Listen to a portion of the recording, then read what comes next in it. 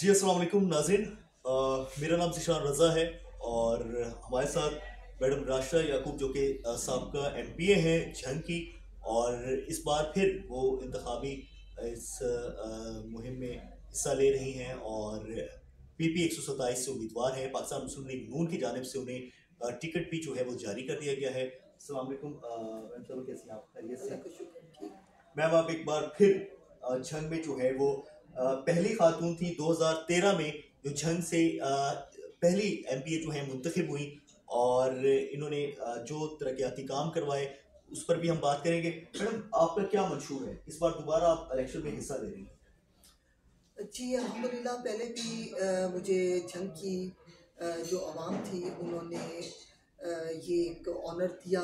कि उन्होंने मेरे पे अतमाद किया। और अब एक दफ़ा फिर मेरी क्यादत ने भी मेरे ऊपर अतमाद किया और मुझे टिकट जारी किया।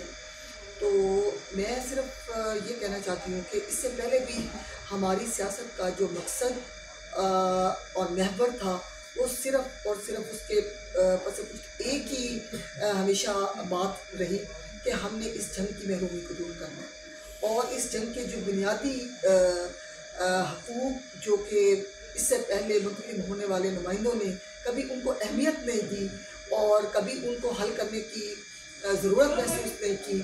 हमने उनको आप ये कह लें कि जंग में अगर किसी ने तरक्याती कामों का रिवाज डाला तो शेख मोहम्मद यकूब थे। जंग में तरक्याती काम आ, का जो आगाज़ है वो उनके दौर में हुआ। और उसी सलसल को अलहमदिल्ला मैंने 2013 में मुंतखब होकर आगे बढ़ाया और वो तसलसल लेकर मैं चलती रही और जो तरक्याती जो मंसूबे थे और जो ज़रूरत थी इस जंग को उसके अंदर मैंने अपना भरपूर हिस्सा डाला। और अब आने वाले वक्त में जो हमारे मंशूर के अंदर शामिल है वो ये है कि इसके अंदर चूँकि पॉपुलेशन बहुत बढ़ चुकी है लेकिन हमारे हेल्थ सेक्टर में हमारा एक सिविल हॉस्पिटल है जो। कि इतनी बड़ी पॉपुलेशन के उस बोझ को बियर नहीं कर सकता। तो जैसे ही पेशेंट जाते हैं तो कोई हेड इंजरी या लेग इंजरी कोई ऐसी हो जाती है तो वो लोगों को अंदर आने के बजाय उनको वहीं से फैसलाबाद रेफर कर दिया जाता है।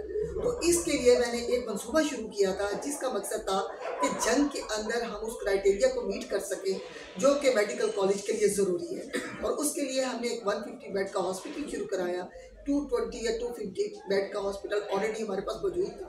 क्योंकि एक रिक्वायरमेंट है कि जब तक आपके पास 400 बेड का हॉस्पिटल नहीं होगा तो आप वहाँ पे मेडिकल कॉलेज की डिमांड ही नहीं कर सकते। तो अब अल्हम्दुलिल्लाह हम उस क्राइटेरिया को मीट कर चुके हैं। अगर अल्लाह ताला ने मुझे मौका दिया तो मेरे आने वाले वक्त में जंग के अंदर मेडिकल कॉलेज ज़रूर बनेगा जी, बिल्कुल, जो मैं सवाल सोच के आया था कि मैं मैडम साहबा से ये बात करूँगा और ये जंग के दरीना जो मुतालबात हैं और बड़ा इशू है क्योंकि टीचिंग हॉस्पिटल ना होने की वजह से हमें फैसलाबाद 80 किलोमीटर सफ़र तय करके जाना पड़ता है, या तो फिर लाहौर जाना पड़ता है और मरीजों को काफ़ी बड़ा मसला है और मैडम साहबा, सबसे बड़ा जो जंग का मसला है वो इस वक्त हेल्थ के हवाले से है। और ये आपके मशहूर में शामिल है, ये तो बहुत खुशी हुई। जानकर अच्छा मैडम साहब तालीम पे भी अपने दौर इकतदार में आपने खासी तवज्जो दी है। वो कौन से तालीम के हवाले से जो है वो इकदाम किए जी, सबसे पहले तो जब मैंने मुंतखब हुई तो मुझे बहुत सारे मैंने खुद विज़िट किया एजुकेशन के लिहाज से। जंग सिटी के अंदर मेरा एक जाना हुआ तो वहाँ पे उस वक्त एक स्कूल मैंने देखा।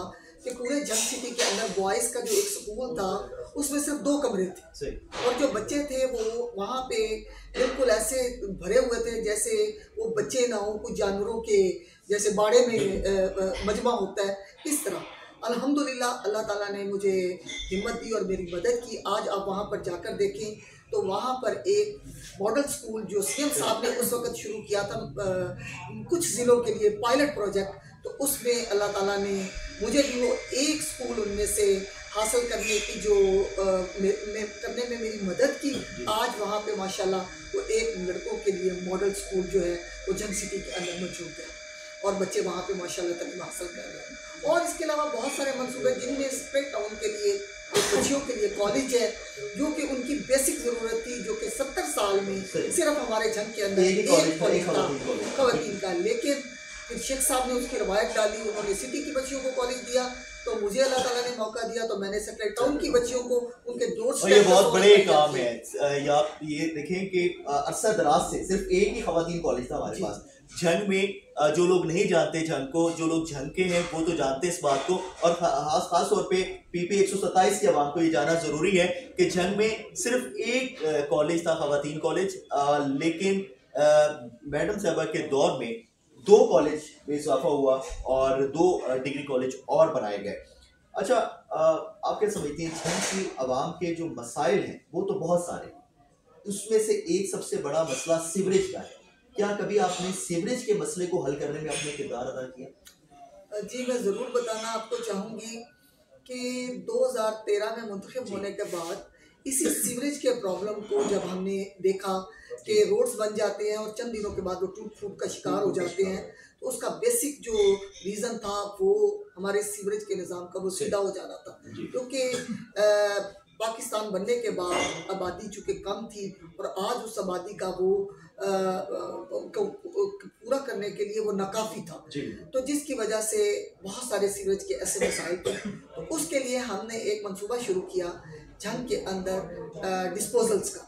तो वो पाँच डिस्पोजल उस वक्त हमने शुरू करवाए जो अपने टाइम में चूँकि मैं डिस्कालीफाई हो गई तीन साल बाद। और मैं अगर वो टाइम मुझे मिल जाता।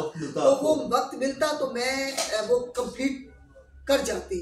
लेकिन बदकिस्मती कहें इस जंग की कि वो मंसूबे मेरे कुछ सेवेंटी परसेंट कुछ एट्टी परसेंट कंप्लीट हो चुके थे। लेकिन हक तो ये बनता था कि जंग की दर्द रखने वाले जो नुमाइंदे अगर जंग को मिलते तो इस बात से कता नज़र कि यह मनसूबा किसने शुरू किया और इसको कंप्लीट होने के बाद किसका नाम पर जाएगा। वो इस बात को देखते हैं कि इसके कंप्लीट होने पर जंग की आवाम को कितनी सहूलत मिलेगी। अगर वो इस बात को मद्देनज़र रखते तो उसको कंप्लीट कराने में वो ज़रूर किरदार अदा करते बट उन्होंने ऐसा नहीं किया।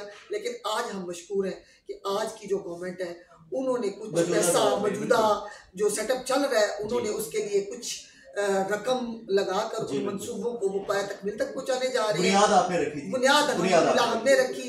और आज वो मंसूबे इंशाल्लाह मैं उम्मीद करती हूँ कि विद इन वन ईयर आपके ये जो झंग का इंशाल्लाह ताला अल्लाह ताला ने मौका दे दिया और इसको मैंने लुक आफ्टर किया तो विद इन वन ईयर आपके झंग के अंदर आपको जो रोड्स के ऊपर पानी और सीवरेज की जो बदहाली है वो इंशाल्लाह ताला आपको ख़त्म होती हुई नज़र आएगी।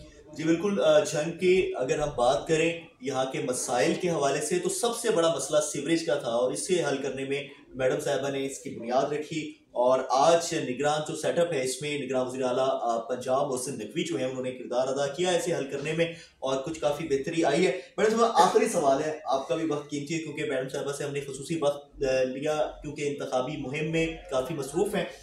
झंग को डिवीज़न बनाने का एक बड़ा मुतालबा झंग की आवाम जो है वो अक्सर करती है। तो इसे डिवीज़न बनाने के लिए टोबा टेक सिंह गोजरा को हमें शामिल करना होगा। मैडम इस मसले को हल करने में किस तरह से किरदार अदा किया जा सकता है? और आपके मशहूर में क्या ये शामिल है? जी बिल्कुल आपने बहुत अच्छा सवाल किया। डिवीज़न बनाने का एक ख़ास मकसद होता है। उस इलाके को एक ख़ास बजट की एलोकेशन होती है जिससे उसके बहुत सारे मसाइल का खात्मा होता है। देखिए हमारा जंग बड़ा पसंद है। यहाँ पे कोई इंडस्ट्री नहीं है। इंडस्ट्री है। यहाँ पे रोज़गार के मौके बहुत कम है। और पसमानदा होने की वजह से हमारे बहुत सारे लोग जो मजदूरी करने वाले लोग हैं उनको आउट ऑफ़ सिटी जाकर अपने रोज़गार के लिए है। जाना पड़ता है। तो हमारे मंशूर में ये सारे फहरिस्त शामिल है। कि झंग को डिवीज़न बनाया जाए इसमें इंडस्ट्रियल स्टेट का क्याम किया जाए ताकि यहाँ पे जॉब्स क्रिएट हों। और जो झंग के रहने वाले वासी हैं उनको अपने झंग के अंदर रहते हुए जॉब्स मुयसर हों। ये हमारे मंशूर में शामिल है। और मंशूर में जो सरदस्त एक दूसरी चीज़ जो कि इससे पहले इंतहाई संगदिली का मुजाहरा करते हुए हमारे झंग को मोटरवे से दूर रखा गया। और अब लोगों को इतनी मुश्किलात होती हैं या तो उन्हें गोजरा जाना पड़ता है या तो फिर उन्हें जो है वो चरागाबाद जाना पड़ता है यानी कि। चालीस पचास किलोमीटर सफ़र करना जी वो सफ़र करना पड़ता है और छोटे छोटे हमारे इर्द गिर्द में सराउंडिंग में गोजरा को मिला गजाना को मिला लेकिन हमें ना मिल सका बदकिस्मती है हमारी और हमें ना मिल सका हम इसलिए इंशाल्लाह आने वाले वक्त में हम कोशिश करेंगे कि इसको ड्यूलाइजेशन हो जाए और ये हमारा जो लोग इस बुरी हालात में जो रोड है फैसलाबाद रोड इसको हम अ, कुछ एक्सप्रेस वे के तौर पे बन जाए ताकि हम जल्द अज जल्द उसके साथ कनेक्ट हो सकें। ये हमारे मंशूर में शामिल है इंशाल्लाह। मैडम साहब बहुत शुक्रिया आपने वक्त दिया हमें और हम चाहते थे कि मैडम राशदा याकूब जो हैं उनसे बात करें उनका मंशूर जाने क्योंकि इस बार फिर वो इंतबात में हिस्सा ले रही हैं। आइंदा इंतबात दो हज़ार चौबीस के हवाले से हम चाहते थे कि जहाँ मुख्तलिफ़ उम्मीदवारों के इंटरव्यूज़ करें तो सबसे इम्पोर्टेंट जो इंटरव्यू था हमारा, वो था सबका हमारी एम पी पी पी एक सौ सत्ताईस में इस बार। फिर वो इंतबात में उन्होंने हिस्सा लिया है और उनका ये कहना है कि मैं अवाम मुझे अगर मौका देती है तो इन मुंतखब होके अवाम के जिस तरह से पहले हमने मसाइल को हल करने में अपना किरदार अदा किया है इन हम दोबारा फिर आवाम की आवाज़ बनेंगे आवाम के मसाइल को हल करने में अपना किरदार जो है वो अदा करेंगे। फिल वक्त के लिए इतना ही बहुत शुक्रिया।